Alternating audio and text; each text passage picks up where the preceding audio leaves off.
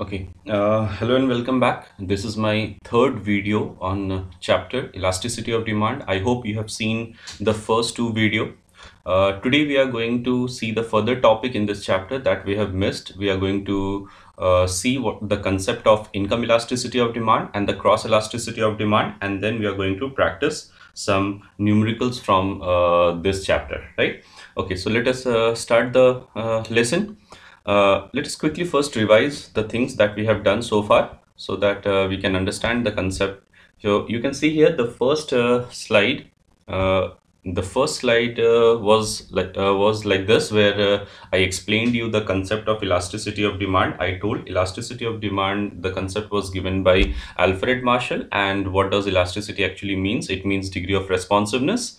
So we have already gone through these definitions then uh, I have told you the different types of elasticity that is price elasticity, income elasticity, cross price, cross price elasticity and advertising elasticity. This uh, advertising elasticity is not there in our syllabus so we will not go uh, for this topic. So we are going to uh, limit ourselves with uh, these three concept of elasticity where price elasticity I have already explained to you. Then we have a, a, little bit, this is the third slide where I told you what actually the price elasticity of demand means and what is the formula, how we calculate the price elasticity of demand and the importance of this minus sign in price elasticity of demand. Then uh, the different three methods that we have gone uh, through to find out the price elasticity. One is called percentage method. Uh, total expenditure method, I told you to remember this uh, table so that you can uh, answer in, in examination then point method or what we call geometrical method also one of our important uh, method of finding the price elasticity by a formula lower segment by upper segment right? Then uh, but degree of price elasticity i told degree means nothing but it is the different value of uh, some spatial value of price elasticity. So we have seen this also where perfectly inelastic demand this we have uh, discussed what is perfectly inelastic demand what is a perfectly elastic demand, unitary elastic demand, case of elastic demand, and inelastic demand. So these are something we have already discussed. Uh, then factors affecting price elasticity of demand. We have, we have also discussed uh, this topic where I told that uh, how availability of substitute affect the price elasticity of demand, uh, portion of income spent, how that uh, affect the price elasticity of demand, and the three more factors that you see here right? Okay so uh, this was a table uh, summary for uh, the uh, factors affecting demand that uh, in short we can see and we can find out that whether the uh, price elasticity will be elastic or inelastic in nature in case of the in case of these possibilities right? Okay so today we are going to start from here. Today we are going to start with a topic called income elasticity. As I told, elasticity is nothing but it is a degree of responsiveness uh, of a consumer. And here the word responsiveness means that how the consumer uh, is responding to the change in any one of the determinant of the demand. It may it be a price or it may be a income. So when we are talking about income elasticity, basically uh, we are talking about that how the consumer is going to change his quantity purchase when there is a change in income of the consumer assuming the all other determinant like price price of the related good advertisement test and preference to remain constant. So that is what actually the concept of income elasticity then you will find that in case of this income elasticity we use this formula here. That is uh, elasticity income elasticity of demand is nothing but it is given by a formula percentage change in quantity demand by percentage change in income. You can look here uh, i have not given any minus symbol here because uh, actually uh, this formula is been given uh, taking into consideration the normal good and we know that in case of normal good uh, price and income are directly actually the sorry the quantity and income is directly related. You can look here a little bit of derivations to find out the uh, usual formula that we are going to use uh, all the time while solving the problem of income elasticity. So we say that uh, income elasticity is nothing but it is delta q that is change in the quantity purchase or change in the quantity demand by delta y. Y represent here income. So that is change in income of the consumer into initial income and initial quantity. The formula is uh, exactly uh, same as what we have seen in price elasticity of demand. Only the differences that in case of price elasticity we have used price here uh, in these two cases. But here in case of income elasticity we are using income uh, here in these two places. So that is what actually the formula of income elasticity okay. So you can see here that is again we are uh, uh, going through one more that is a different concept called degree of income elasticity. Uh, in degree of income elasticity if you look here then we can uh, talk about there are three different degrees that we can talk about. One is called positive income elasticity and you can see in the next slide uh, it is negative income elasticity and zero income elasticity. So basically there are three different degrees of income elasticity of demand positive, negative and zero. So that means uh, what we are actually talking that uh, when we will calculate the uh, income elasticity numerically, then we will get positive value, uh, negative value and zero. So what actually this positive, negative and zero implies we can understand when we will go through these topic, right? So what we say when income elasticity, generally when income elasticity of demand is positive, we say the nature of the commodity is normal because uh, while revising while going through the uh, theory of demand chapter we have seen that normal goods the definition of normal good just a, a reminder to you uh, normal goods are those goods whose demand increases with increase in income. So what we see that income and demand are positively related. So in this case what we get is a positive value of income elasticity but positive again if if i go further uh, uh, if i further break this then you are going to find that positive means uh, it will be great uh, it can be a fraction it can be equal to 1 or it can be greater than 1 so that is what actually the point is. You can see here the three point i have uh, put here. So positive means uh, greater than 0 but less than 1 so that means it is a fraction. So if that is a case we say income elasticity is less than 1 that is also a positive value. And that situation or that condition is called income inelastic.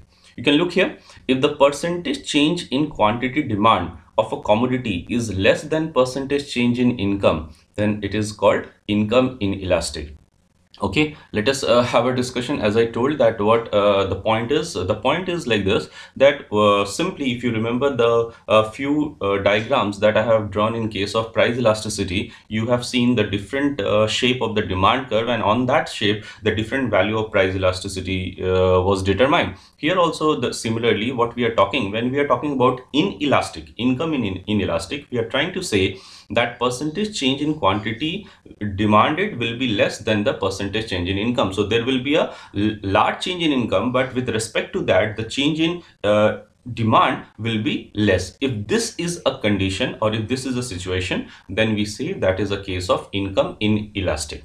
Similarly, we have a first category here. You can see here income elastic. Income elastic just means uh, mean the opposite. So what we see here, when there is a change in income, uh, when there is a small change in income, we find there is a large change in uh, demand. That means the change in demand will be greater than the change in income. So if that is the case, we uh, say that the nature of uh, income elasticity is income elastic. That is called income elastic in nature. And this is normally we see in case of luxurious good like car, televisions and etc. Whereas uh, the third we have uh, unit elastic. Uh, unit income elastic. So unit income elastic means the concept is like this that uh, when income is going to change the quantity demand will also change but the change in both income and uh, income and demand will be same. So if the percentage change in uh, income and the percentage change in demand is going to be same then that is a case of unit elastic unique unit income elastic. So that is what we have a three further classification of uh, positive income elasticity. Okay? So let me go for the next slide. If, if you look here in the next slide then you're going to find we have a two more degrees of income elasticity. One is called negative income elasticity. What is this? Negative income elasticity is nothing but uh, the concept is like this where we say that with rise in income the, the quantity demand fall. And we already know from this explanation or if you remember uh, in theory of demand we have talked about one more commodity and that was inferior commodity.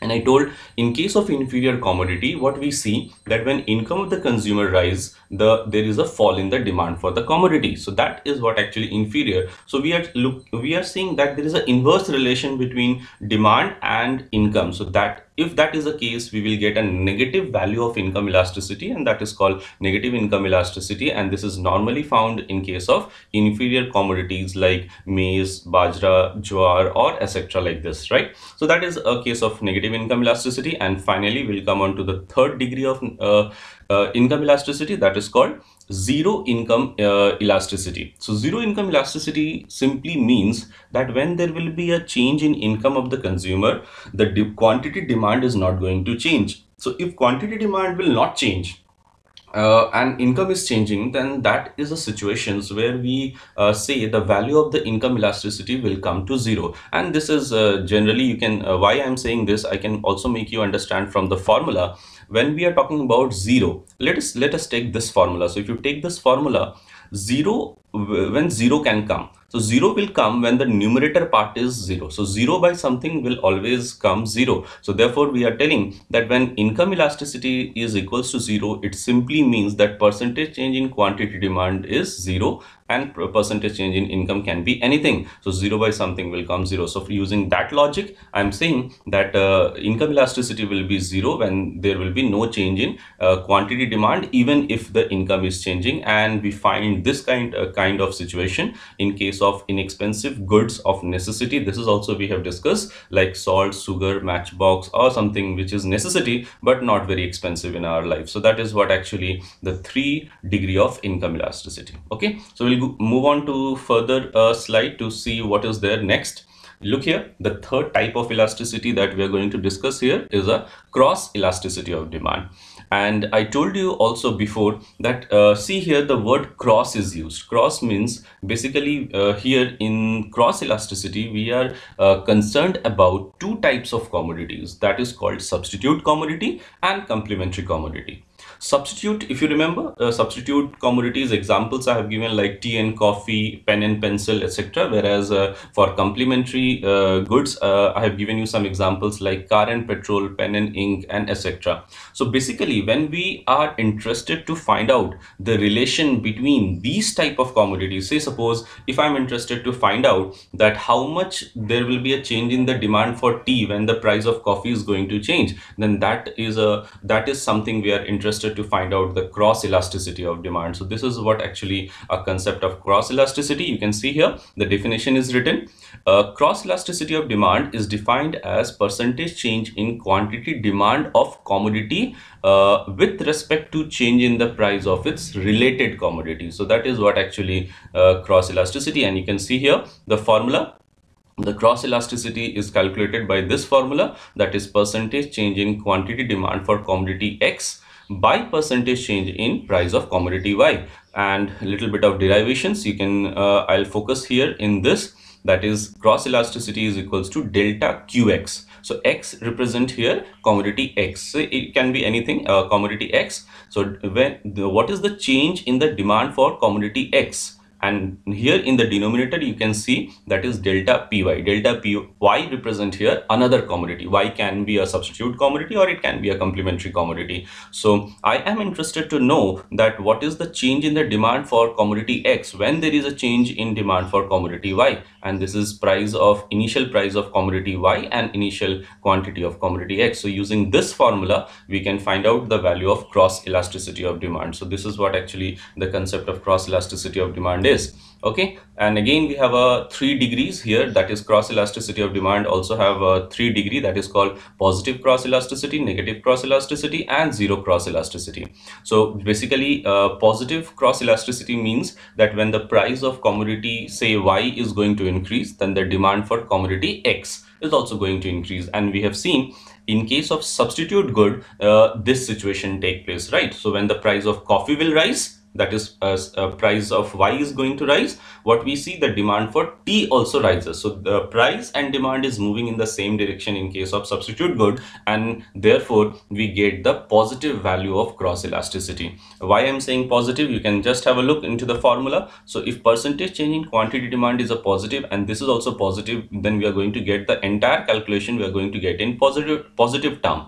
So we are saying that this is a positive cross uh, positive cross elasticity is generally found in case of substitute good. Negative uh, we have seen that a negative cross elasticity is commonly found in a uh, complementary good. So if you take here some examples like car and petrol so when price of petrol will rise i told you what will happen to the demand for the private vehicles it is going to fall. So when price of petrol rises people prefer shift their preference from private vehicles to the public vehicles and as a result the demand for car fall. So we see that uh, there is a inverse relation between price and uh, quantity. And uh, if there is an inverse relation we are going to get a negative cross elasticity of demand so that is a case of negative cross elasticity. The question comes like this that uh, what is the value of uh, cross elasticity of demand for complementary good and what is the value of cross elasticity of demand for substitute good?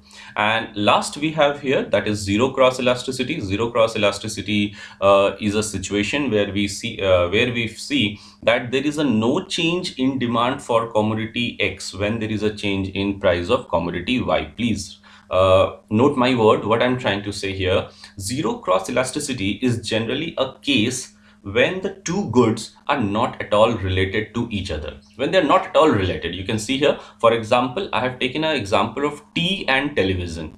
So there is a no relationship between tea and television. So if the price of tea goes up then definitely we cannot say that what will happen to the demand for television. So tea and television are not, neither substitute, they are not uh, nor complementary. So since there is a no relation between tea and television, so we cannot say what is the value of cross elasticity of demand in case of tea and te television. So in that case, we get the value of cross elasticity as zero. So this is again, so a very important question that comes uh, that uh, what is the value of uh, uh, cross elasticity of demand in case of uh, goods that are not related to each other. So we can give the answer that uh, in case of non-related good, the value of cross elasticity is equals to zero. So these are the three uh, degree of cross elasticity of demand. So we are done with the topics. Uh, that is the concept. Uh, and I told that uh, numericals are also there in this chapter. So I'll show you two or three numericals so that you can practice at home from your book.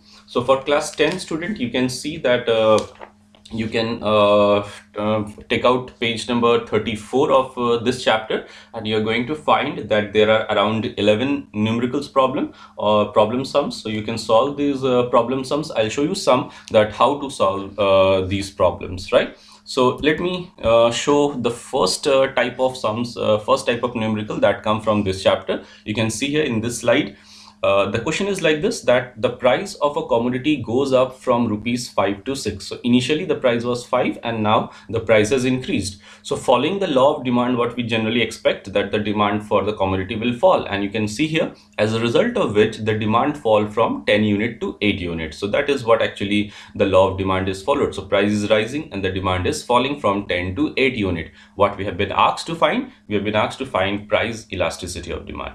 You can see here the solutions I have uh, shown here so that you can also practice in the same manner. So initial price P1, uh, initially the price was 5 then the final price what I have given us a name that is P2 is uh, 6 so I want to find out the change in the price so change in the price is 6 my final minus initial that is equals to 1 and I told you uh, while uh, talking about the price elasticity that change in uh, economics we represent a change in uh, mathematics also we represent with a symbol delta. So delta P the value of delta P I'm getting as 1 Similarly, initial quantity was 10 and final quantity uh, is 8. So therefore change, if I want to find out the change, then delta Q is 8 minus 10 because final minus initial and that is equals to minus 2.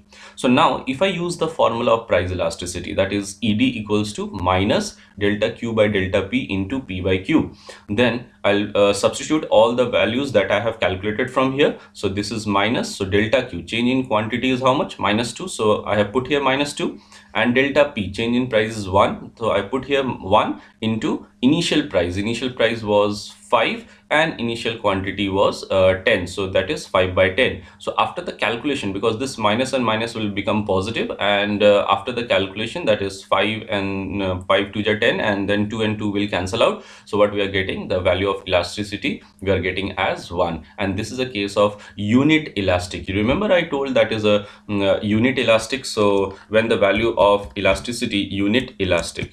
Uh, when the value of that is when the value of elasticity is equals to 1 that is a case of unit elastic. And here we draw the demand curve as rectangular hyperbola. If you remember uh, the first two video that uh, was there uh, I have uh, shown in the first two video of this chapter that is in case of unit elastic the demand curve is rectangular hyperbola or it is a 45 degree downward sloping 45 degree line. So that is what the first sum. Let us go for the second type of numerical problem that we see here.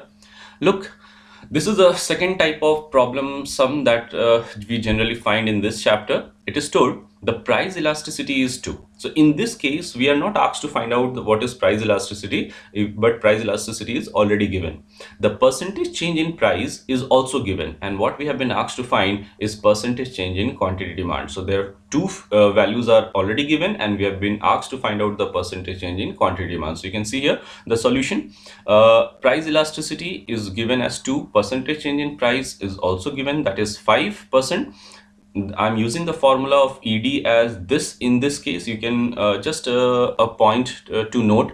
You can look here uh, while explaining you sorry while explaining you the first sum I have used the formula of ED as this because according to my question this formula was more applicable. But in this case I'm using the uh, this formula that is also called mother formula percentage change in quantity demand by percentage change in price. And after the derivation we have got uh, that formula that is delta Q by delta P into P by Q so ED is nothing but it is minus percentage change in quantity demand by percentage change in price. So let me just substitute all the values. So we have got, we know what is the value of elasticity of demand. It is 2 and percentage change in quantity demand uh, we have to find. So I left it uh, as it is and percentage change in price is 5. So I put here 5. So if you do the cross multiplication, so if I do the cross multiplication or if I want to take this 5 this side then I have to multiply and you can look here that is what the next line show that percentage change in quantity demand is equals to ed into 5 money price elasticity into 5 so that is 2 into 5 because the value of elasticity is given as 2 and 2 into 5 is nothing but it is 10 so i can say that percentage change in quantity demand is coming 10 as an answer. So we can use this formula also or we can use the uh, use uh, this formula also to find out the price elasticity of demand right? So i hope you have understood uh, that how to solve this problem so i'll show you one more uh, numerical and then you can practice it from your book. Uh, the, there are 11 sums class 12 also. There are many uh, numericals that is given uh, in the exercise. So you can practice in case you're having any difficulty or problem with uh, uh, sums when we are going to meet in the class i'll help you out to solve those problems okay let us have a look on the third sum. Look at the third sum it is told that due to 10% fall in the price, its quantity demand rises from 400 unit to 450 unit. Calculate the price elasticity. Just have a look to the difference. Here, one of the figure is given in percentage and the other is given in numbers. So therefore, what I have to do, either I have to convert uh, both into percentage or I have to convert both into numbers. So what I have done, this is my solution. You can see here. So percentage change in price was given as 10% initial quantity was given 400 and uh, final quantity was given 450 so q1 is also given and q2 is also given. So i'm using this formula that is percentage change. First what i'm i'm interested i'm interested to convert this figure into percentage so that i can use uh, uh, my mother formula that is ed equals to percentage change in quantity demand by percentage change in price. So how to convert? As i told you uh, while explaining the uh, concept also so percentage change in quantity demand is final minus initial by initial into 100. So final is 450 minus 400 by initial that is 400 into 100. So after doing the calculation what we are getting that percentage change in quantity demand is coming 12.5. So when you will do the calculation you are going to get it as 12.5. Now I'm using the mother formula of price elasticity of demand. So after using this mother formula so percentage change in quantity demand we have calculated 12.5. So I'm putting in the numerator 12.5 and percentage change in price is uh, already given that was 10 so i put here 10 So 12.5 by 10, the answer is coming 1.25. So this is what actually the value of price elasticity of demand. And if somebody asks that uh, what does this 1.25 represent, then you can say that 1.25 represent elastic demand because in case of elastic demand, the value of uh, price elasticity is greater than 1. So this is what actually uh, the numerical. So I have tried to show you three numericals so that uh, you can practice. Uh, as I told that in case you find difficulties, then uh,